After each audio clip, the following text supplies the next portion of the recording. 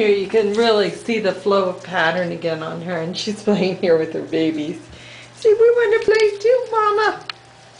So beautiful, beautiful cat though. And again, this is Rosie Days. She is very, very nice. I love the flow of pattern on her. Here, we'll play here with some babies. Yeah. So there we go. Rosie and her babies. They're back here in the nursery. We haven't gone out to the main room yet. There you can see the flow again. Beautiful, beautiful flow of.